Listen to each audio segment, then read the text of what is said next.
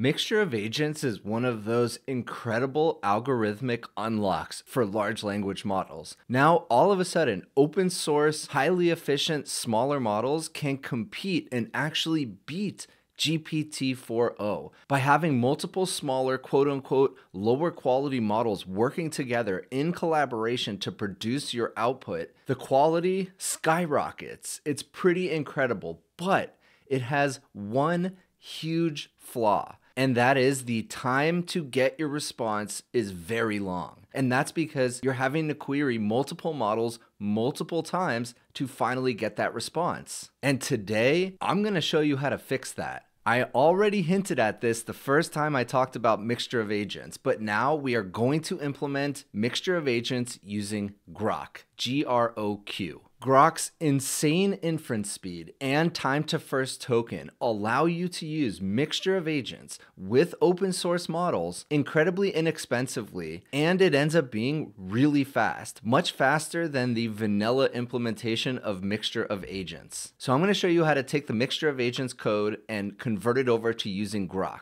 And thank you to Groq for partnering with me on this video. I love working with Groq and I love using Groq because in my opinion, the best use case for the kind of inference speeds that you see from Groq are agents. And now we can use Groq to power Mixture of Agents. So let me show you how to do it. Just for a quick reminder, Mixture of Agents is a very powerful prompting algorithm that uses multiple open source models that achieve better than GPT-4o results. And the way they do that is by simply letting multiple open source models collaborate with each other to come up with the best output possible. And that's what we're seeing right here. So there's three layers and in each layer, we have three separate models. And they work together over and over again with one aggregator model that chooses the best final response. So you can find the mixture of agents code base that is completely open source right here at togethercomputer slash MOA. I'll drop the full repo link in the description below. So I made a bunch of customizations to get Groq working with it. There's still a ton of things that we can do to make it even better and super specific to Groq. And as a little preview, Groq is coming out with their own version of Mixture of Agents. So when that comes out, out, I'll definitely link it in the description below. But for now, we're just going to edit the existing code. So the first thing you're going to do is open up VS Code. From here, you are going to click the little terminal button and we're going to open up a new terminal. I like to put everything that I'm working on currently on my desktop. So I'm going to do CD into my desktop. Then from the repo, we're going to click the green code button and we're going to copy the URL. Then we type git clone and then paste in that URL, hit enter. All right, I had to rename my existing repo, but git clone and then that repo URL, hit enter, and it's going to clone the repository locally. Next, we're going to spin up a new conda environment so we can keep all of our Python dependencies nice and organized. So you're going to type conda create dash n MOA for mixture of agents, Python equals 3.11. Now I already have an environment named this, so it's gonna ask me if I wanna replace it, but it won't ask you. Remove existing environment, yes. And now it should prepare the environment for us. Proceed, yes. All right, then you're gonna copy this code right here, conda activate MOA, and then hit enter. Next, we're going to CD into MOA, then hit enter. Now we are going to install the requirements. So pip install dash r requirements.txt, and that's going to install all of the Python dependencies that we have. Next, we're going to open up the folder. So click the file button right there, open folder, and then I'm going to look for MOA and select that folder. Now we're going to reopen our terminal, make sure that we're still in the same environment. So conda activate MOA just to make sure. And now we can actually get started. So the first thing we're going to do is create the .env file. So you're going to right click over here, new file, and type .env. And now we're going to insert our environment variables here. And the first thing we're going to use is an OpenAI API key. Now, here's the thing. You're probably asking yourself, why do we even need that? It turns out you really don't, but I didn't want to continue to edit the code to make sure we didn't need it. And it's used for two main things. One, this code comes with a bunch of scripts that run benchmarks. And one of the benchmarks that it is comparing this mixture of agents against is OpenAI. So that is what it's used for.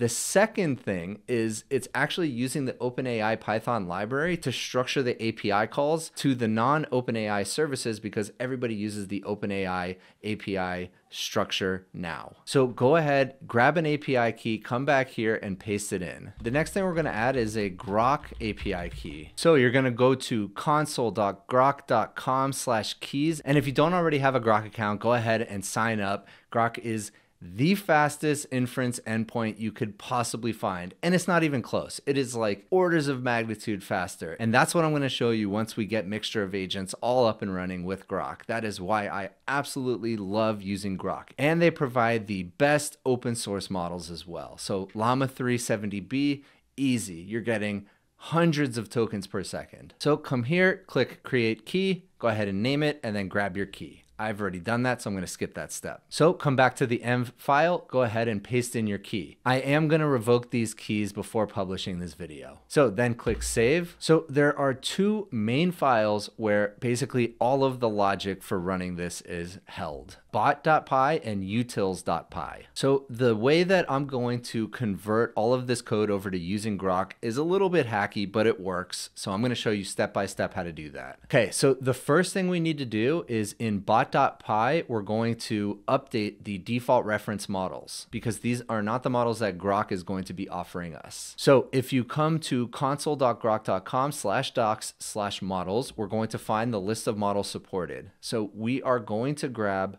Llama 3 8B. We'll put that here first. Switch back. We're going to grab Llama 70B. Switch back. Go ahead and put that in right there. We're going to use Mixtral 8 times 7B. And last, we're going to use Gemma 7B. Now, obviously, as Groq adds more models, which I know they're working on, you could definitely come in here and experiment with different models. But these models work great. Now, for the quote unquote main model, you can choose it as part of this code, but we're going to default to using Llama 3 70B because that's the best. Now I'm going to go ahead and just delete this part because those are not the models we're going to be using. It's just a little bit of documentation, but we don't need it there. So we have the temperature default, we have the max tokens default, and the next thing we're going to look for is on line 80 right here. So we're going to replace this model with Llama 3 70B. Go ahead and save. Here's the temperature floating right there. Here's the max tokens right there. And I'm actually going to change this to 2048. And right here on 129, I'm also going to change this to 2048 as the default. Then on line 115, once again, we are going to replace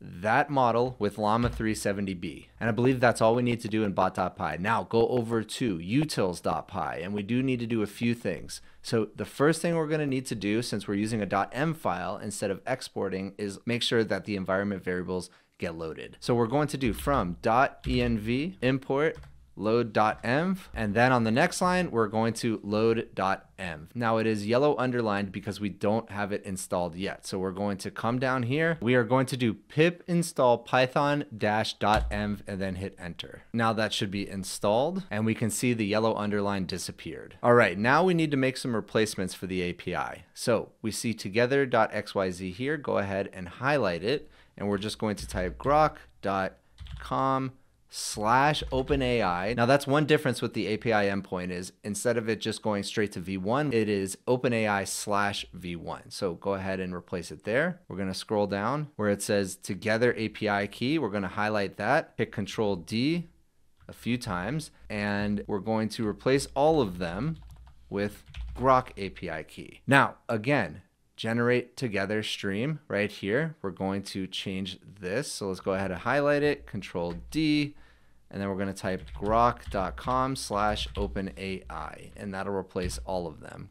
And then save it. All right, I think we might be done now. So let's test it out and make sure. So to test it out, we're going to type python bot.py and then hit enter. Okay, so first, what main model do you want to use? And that's an aggregator model. So we're just going to use the default as we set. So just hit enter. Next, what temperature do you want to use? We're going to use 0.7, the default again. And then what max tokens do you want to use? 512. It actually should be 2048. So let's see if that gets corrected when I just hit enter. Yeah, so it's 2048. I just forgot to update the prompt.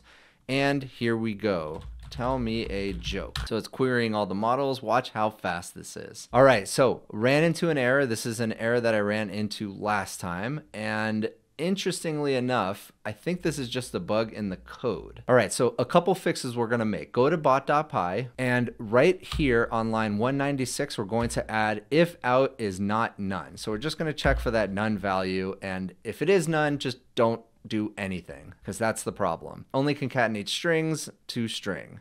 So that'll solve that issue. Now let's come back here and on line 128 now, we're just gonna make it a little bit cleaner and update that 512 to 2048 and then let's save. It actually did work if I scroll up. Yeah, so here is the joke.